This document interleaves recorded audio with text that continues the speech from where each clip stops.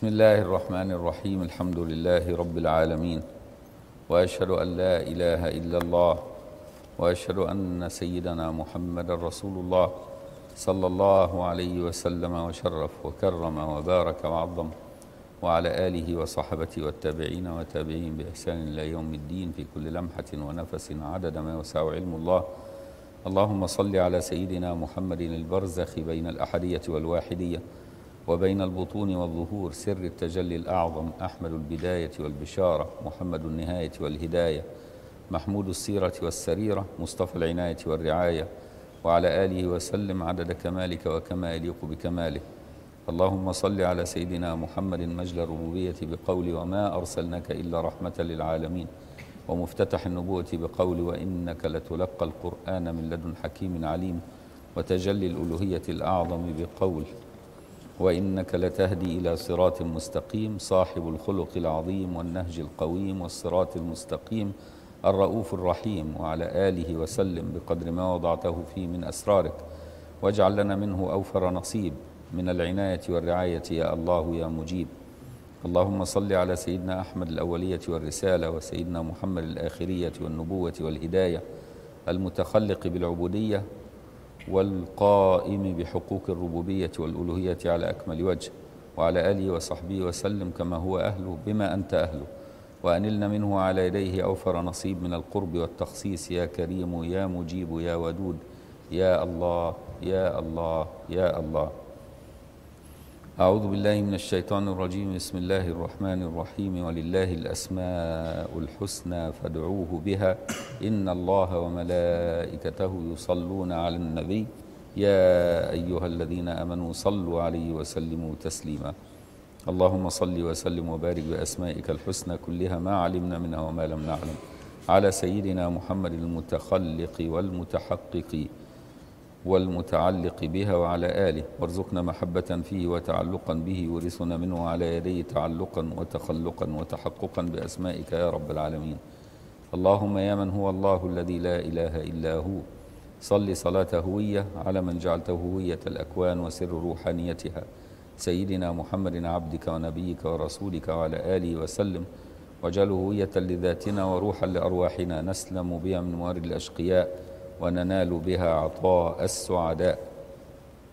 اللهم يا مقيت صل وسلم وبارك على سيدنا محمد عبد المقيت وعلى آله الذي تعلق بالمقيت فكان يبيت عند ربه فيطعمه ويسقيه. فواصل الصيام ونهى غيره لبيان كمال خصوصيته وتخلق به فأطعم الجموع الغفيرة من الطعام القليل ببركته. وسقى الجيوش من الماء النابع من بين أصابعه الشريفة ولم يرد سائلا إلا بحاجته وحلب الشاة الحائلة وقت الجفاف وحيثما حل حل معه الرخاء وأشار إلى السماء فأمطرت وغرس النخلات بيده فأثمرت من عامها وأقات الأرواح بالحقائق والقلوب بالمعاني والأسرار بالأنس والمشاهدة كما أقات الأبدان بأطايب الطعام والشراب وتحقق به فأوتي مفاتح خزائن الأرض في الدنيا ومفاتح الجنة في الآخرة. صلاة تكون لأبداننا قوتا ولقلوبنا شفاء ولأرواحنا خلاصا وإخلاصا ولأسرارنا حبا وأنسا واشتياقا. فنستغني بالمقيت عن القوت ونكون مقيتين لغيرنا. يا الله يا مقيت. اللهم اكفنا وسائر المسلمين السوء بما شئت وكيف شئت. إنك على ما تشاء قدير. يا حي يا قيوم برحمتك نستغيث. أصلح لنا ولسائر المسلمين شأننا كله ولا تكلنا لأنفسنا طرفة عين ولا لأحد من خلقك. علمنا ما ينفعنا وانفعنا بما علمتنا وزدنا علما. وأدخلنا في كل الأمور مدخل صدق وأخرجنا من كل الأمور مخرج صدق. واجعل لنا من لدنك سلطانا نصيرا.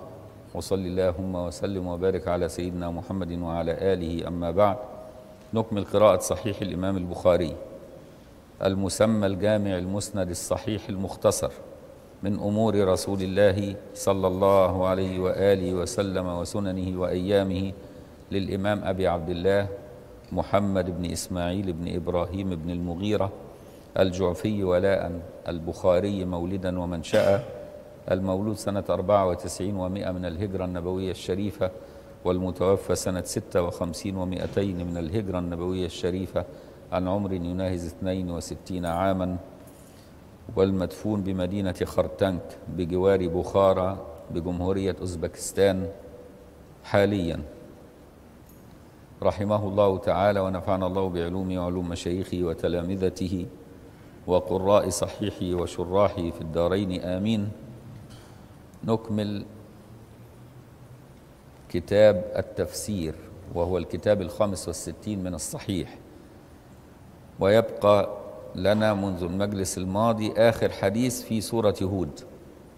ثم نشرع بعد ذلك في سورة سيدنا يوسف. آخر حديث في تفسير سورة سيدنا هود. وقفنا عليه يقول بإسنادنا المتصل عن مشايخنا جزاهم الله عنا خير الإمام البخاري في صحيحه يقول حدثنا مسدد. هو مسدد بن مسرهد بن مفرهد. قال حدثنا يزيد بن زريع. قال حدثنا سليمان التيمي عن أبي عثمان. أبي عثمان اللي هو عبد الرحمن النهدي. عن ابن مسعود اللي هو سيدنا عبد الله بن مسعود الصحابي الشهير رضي الله عنه وأرضاه. أن رجلا أصاب من امرأة قبلة يعني رجل من الأنصار يقال أنه كان بدريا أصاب من امرأة لا تحل له قبلة وهذا حرام. فأتى رسول الله صلى الله عليه وسلم فذكر ذلك له. ظن أن هناك حد في هذه المسألة كالزنا. فذهب للنبي أن يطهره ويقيم عليه حد هذه القبلة التي لا تحل له. فالنبي صلى الله عليه وآله وسلم سكت حتى أنزل عليه فأنزلت عليه وأقم الصلاة طرفي النهار وزلفا من الليل إن الحسنات يذهبن السيئات. ذلك ذكرى للذاكرين. فدل على أنها من الصغائر والصغائر تكفر بفعل سائر الحسنات وإقامة الصلاة والوضوء وغير ذلك. وأن لا كفارة لها إلا أن يفعل بعدها حسنات وأن وألا يعود إليها مرة أخرى. وأقم الصلاة طرفي النهار وزلفا من الليل. اللي هي الصلوات الخمس طرفي النهار هيبقى الصبح والظهر والعصر وزلفا من الليل هيبقى المغرب والعشاء. وممكن تقول العشاء والفجر هي الزلف من الليل وباقي الصلوات هي أطراف النهار. يختلف. المهم هي الصلوات الخمس. وأقم الصلاة طرفي النهار وزلفا من الليل. يدخل فيها الفرائض وما يتعلق بها من رواتب وسنن. وأقم الصلاة لم يقل أدي الصلاة. هناك فرق بين أقم وأدي. أدي الصلاة يعني ممكن تؤديها حتى في بيتك. لكن أقم الصلاة تبقى جماعة في المسجد. مش كده؟ لأن إقامة الصلاة غير أداء الصلاة. ربنا سبحانه وتعالى ما قالناش أدي الصلاة. قال أقم الصلاة. والنبي يقول تسوية الصف من إقامة الصلاة. يعني معناه بيحضك على صلاة الجماعة. عشان تكون من المقيمين للصلاة لابد أن تصليها في جماعة. لكن لو لم تصليها في جماعة وصليتها منفردا أنت تكون مؤديا للصلاة ولست مقيما للصلاة. فدي نقطة هامة ناخد بالنا منها لأن كثير من المسلمين في هذا الزمان يظن أن أداء الصلاة يساوي إقامة الصلاة. لا إقامة الصلاة هو السعي للمساجد وتسوية الصفوف وسد الفرج. ومتابعة الإمام وعدم سبقه وعدم مساواته وعدم التأخر عنه وإنه يحرص على إنه يكون في الصفوف الأولى وإنه يحرص على ميامن الصفوف أكثر مما يحرص على مياسر الصفوف. كل دي من إقامة الصلاة كل ده. ثم بعد ذلك الخشوع في الصلاة من قلة الحركة وعدم الالتفات والنظر إلى موضع السجود كل دي من إقامة الصلاة. كل ده ده إحسان الوضوء يحسن وضوءه ويسبغ الوضوء على المكاره ويكسر الخطى إلى المساجد كل دي من إقامة الصلاة. ينتظر الصلاة بعد الصلاة إذا كان عنده فراغ فممكن يجلس من المغرب ينتظر العشاء بدلا من أن يذهب فقد يأتيه ما يشغله عن العشاء فيمكث في المسجد. كل ذلك من إقامة الصلاة. وعشان كده ربك يقول إيه؟ وأقم الصلاة. طرفي النهار وزلفا من الليل. إن الحسنات يذهبن السيئات. يعني السيئات هنا بمعنى الصغائر. لأن إيه؟ إحنا الذنوب بمعنى الكبائر. في القرآن لما يقول لك ذنب معناه كبيرة. أما يقول لك سيئة معناه صغيرة. كويس؟ دي لغة القرآن ماشية على كده على طول. يعني أنت مثلا في سورة البقرة في الدعاء في آخرها بتقول إيه؟ ربنا اغفر لنا ذنوبنا وكفر عنا سيئاتنا. ربنا اغفر لنا ذنوبنا وكفر عنا سيئاتنا وتوفنا مع الأبرار. ده إيه في سورة آل عمران؟ ربنا اغفر لنا شوف ذنوبنا. يبقى اغفر الذنوب دي كبائر لأنها هي اللي تغفر. طيب وكفر اللي يكفر إيه؟ السيئات. يبقى السيئات صغائر. خدت بالك؟ زي برضو الصغائر ليها اسم تاني في القرآن وهو اللمم. اللمم اسمها إيه؟ اللمم الذين يجتنبون كبائر الإثم والفواحش إلا اللمم يبقى في عندنا سيئات ولمم دي صغائر. وفي عندنا ذنوب ومعاصي وفواحش ودي كبائر. كويس؟ فهنا بيقول وأقم الصلاة طرفي النهار وزلفا من الليل. والنبي صلى الله عليه وسلم يقول إيه؟ إن الحسنات يذهبن السيئات. يقول النبي في معناها الجمعة للجمعة كفارة لما بينهم. الصلوات الخمس كفارة لما بينهن. الوضوء كفارة لما إيه قبله. بحيث الزن المعاصي تنزل مع آخر قطر الماء وأنت بتتوضأ. كل ده والعمرة للعمرة كفارة لما بينهم. وغير ذلك مما بينه النبي صلى الله عليه وسلم. وأن التسبيح والتحميد والأمر بالمعروف والنهي عن المنكر وصلاة ركعتي الضحى كل ذلك يكفر كثير ويعفو عن كثير سبحانه وتعالى. وأقم الصلاة طرفي النهار وزلفا من الليل. إن الحسنات يذهبن السيئات ذلك ذكرى للذاكرين. قال الرجل ألي هذه؟ ده بدري وأهل بدر لهم خصوصيات. فالرجل ده من أهل بدر الذي أصاب القبلة المحرمة. ظن أن الآية دي خاصة بأهل بدر. فبيسأل النبي ألي هذه؟ قال لمن عمل بها من أمتي. يعني دي إلى يوم القيامة. ودي هدية لأمة النبي صلى الله عليه وسلم. فالحمد لله على ذلك. وعلى كده استنبط الفقهاء أنه لا حد على رجل ولو رؤي في لحاف مع امرأة أجنبية. شوف قد إيه؟ لأن الحد في الزنا وليس أنه نام جنبها. فهمت؟ لابد أن الزنا ده ليه, ليه شروط معينة لأن الرسول صلى الله عليه وسلم كان يتشدد في إقامة الحد أيام تشدد بحيث أنه لا يقيم الحد إلا بيقين. أما القرائن لا تدل على أن الحد يقام. القرائن لا تعفي يعني ممكن لما يبقى نايم معه في لحاف واحد دي قرينة من القرائن. لكن في الحدود لا نحكم في الحدود بالقرائن ولكن نحكم بالشهود أو الاعتراف. فهمت؟ الشهود أو الاعتراف. إنما ما ينفعش ناخدها بالقرائن. حتى لدرجة إن لو حامل وليست لها زوج في أكتر من الحمل واحدة مش متزوجة وحامل. ما هو ده عند معظم الناس تبقى زانية. الشرع حتى لو اعتبرها العرف زانية الشرع ما يعتبرها زانية. لا يقيم عليها حد الزنا. إلى هذه الدرجة. حتى تعترف. ليه؟ لأن ممكن المرأة تحمل أن يدخل المني في فرجها بغير زنا. لو دخل المني في فرجها بغير زنا زي الوقت التلقيح الخارجي اللي بيتعمل في عيادات النساء والتوليد فممكن امرأة تحمل بغير زوج. محتمل هذا. فكل ده يجعلك تعلم أن الرسول صلى الله عليه وسلم قال إيه؟ ادرأوا الحدود بالشبهات. فأي شبهة تعتري الحد تمنع من إيه؟ من إقامة الحد. وبالتالي اتفق الفقهاء على أن من رؤي مع امرأة أجنبية في لحاف واحد لا يقام عليه حد الزنا ولكن يعذر. يقام عليه حد تعزير يجلد جلدتين. يشتموه مثلا شتمة كده يقولوا ما تعملش كده تاني أو شيء من هذا. أو يعاقب مثلا بعقوبة معينة بعيدة عن الحد وليست إقامة حد ولكنها تعزير والتعزير هي عقوبة غير مقدرة شرعا يقدرها الحاكم.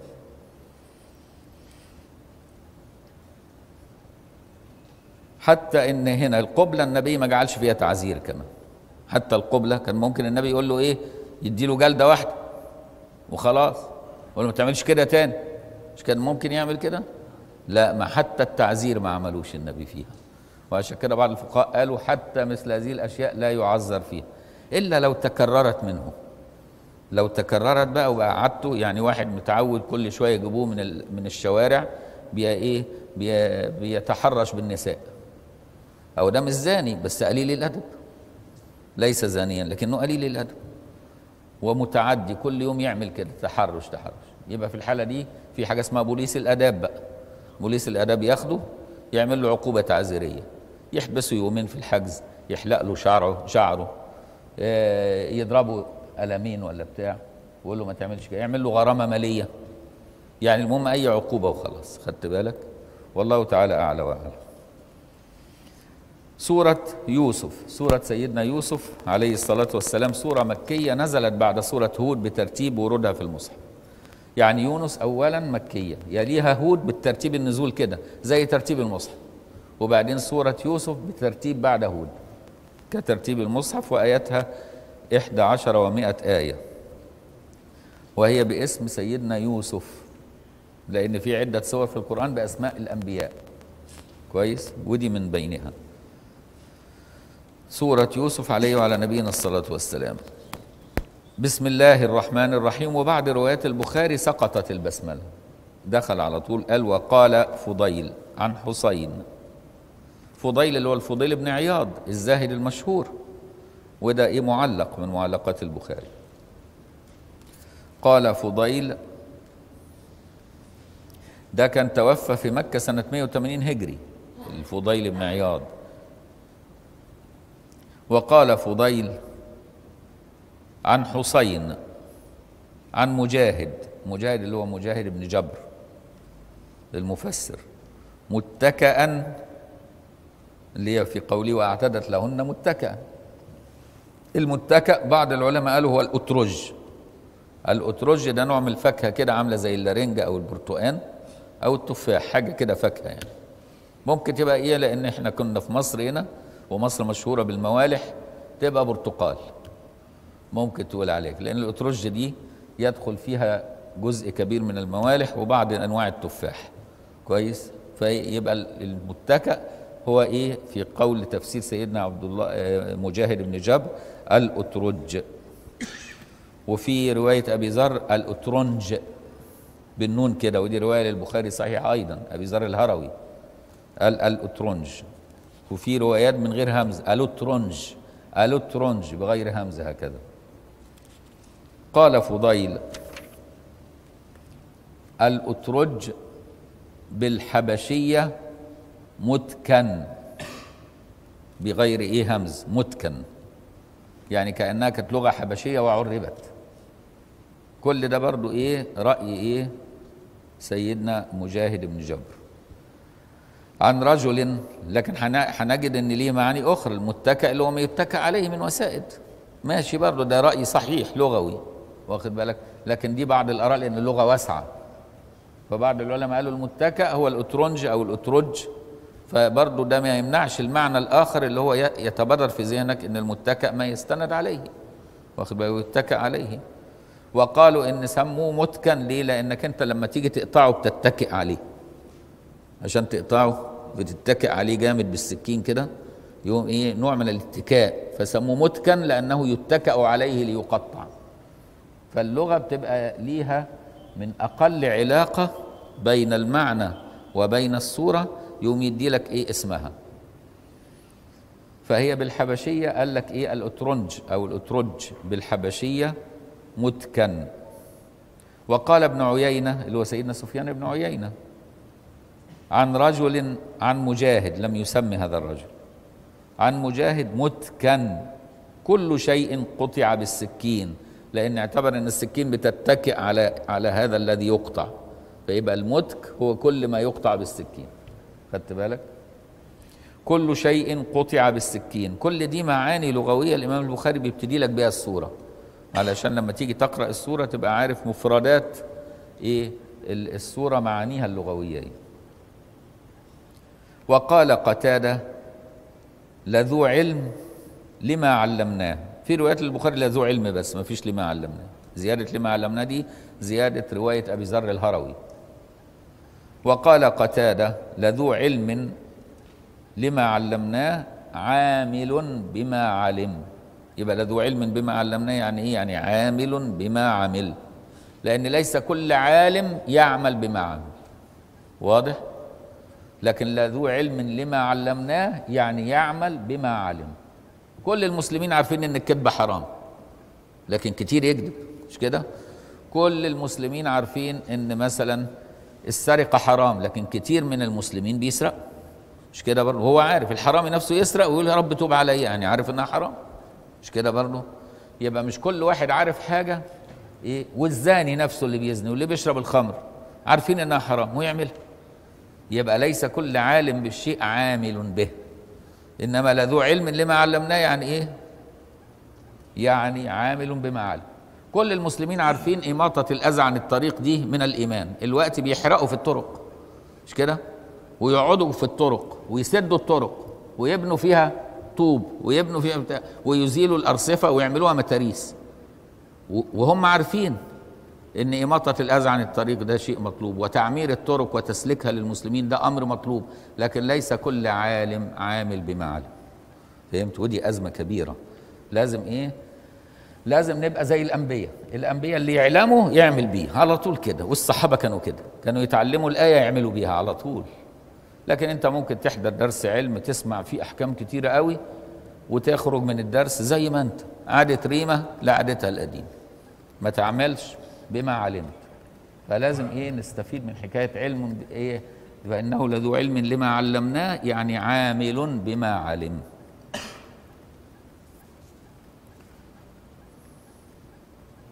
ده طبعا بيقول على قول سيدنا إيه يعقوب لا تدخلوا من باب واحد وادخلوا من أبواب متفرقة وما أغني عنكم من الله من شيء. إن الحكم إلا لله عليه توكلت وإليه أنيب. وقال بعد كده فلما دخلوا من حيث أمرهم أبوهم ما كان يغني عنهم من الله من شيء إلا حاجة في نفس يعقوب قضاها وإنه لذو علم لما علمناه. يبقى سيدنا يعقوب هنا بياخد بالأسباب تعبدا لكن يعرف إن دخولهم من ابواب متفرقة أو دخولهم من باب واحد مش هيمنع قدر الله عنهم. هو عارف كده كويس إن قدر الله مش هيحوله شيء لكن ربنا أمره كعبد إن ياخد بالأسباب ويحتاط. فهمت فهو احتاط لكن عارف إن احتياطه ده ما يمنعش قدر الله. فهمت بقى الفرق؟ فأنت تأخذ بالسبب وتعلم أن الله هو الفاعل في السبب وليس السبب هو الفاعل. أدي معنى لذو علم. لأن هو خاف لحسن إيه؟ إما يتحسدوا زي ما بيقولوا لأنهم عددهم كبير وشكلهم وجهاء. وجايين من أرض كنعان من فلسطين. كانوا جايين من فلسطين لأن كان ساعتها الشام ومصر حكومة واحدة. فكانت حكومة واحدة. فكان اللي مسؤول عن التموين سيدنا يوسف فمسؤول عن إيه؟ عن مصر والشام. فهمت؟ لأن كان ساعتها مصر والشام حكومة واحدة. وكانوا هم قاعدين في أرض كنعان اللي هي أرض الشام اللي هي مدينة الخليل. مدينة الخليل الوقتي في فلسطين اللي فيها قبر سيدنا يعقوب. ما انت لما تروح مدينة الخليل هتلاقي فيه تدخل مسجد الخليل تجد ثلاث قبور جنب بعضها. قبر سيدنا إبراهيم قبر سيدنا إسحاق قبر سيدنا يعقوب. كويس؟ فهم كانوا عايشين في هذه الأرض اللي هي ارض كنعان. كانوا يجوا لمصر علشان ياخدوا التموين في أيام السنين العجاف.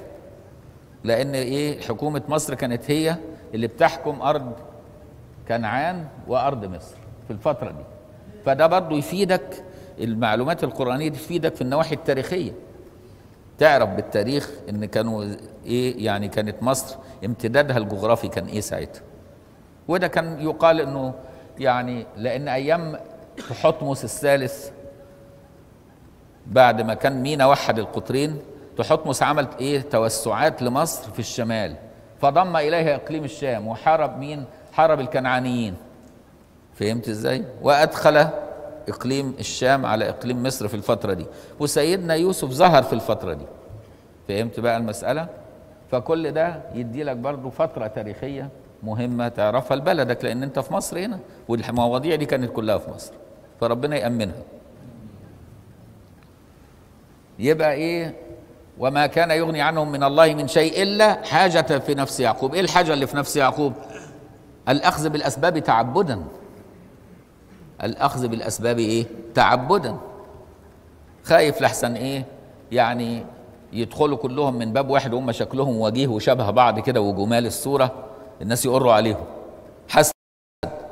طب هو اللي بيحسد ده؟ ما هو بيحسد مش هيضر إلا بقدر الله. فهو عمل كده تعبدا بس. يا رب أنا بحتاط والأمر منه منك وإليك. آدي معنى فتتعلم من الأنبياء الأخذ بالأسباب والاعتماد على الله. وليس على السبب. تتعلم من الأنبياء إيه؟ إنك تاخد يعني لما تمرض تاخد الدواء. ما تعتمدش على الدواء. تمرض تروح للدكتور. تمشي على الدواء لكن تعرف إن الشافي هو الله. طب وأنا باخد الدواء ليه لما الشافي هو الله تعبدا ربنا تعبدني بذلك. فهمت إزاي؟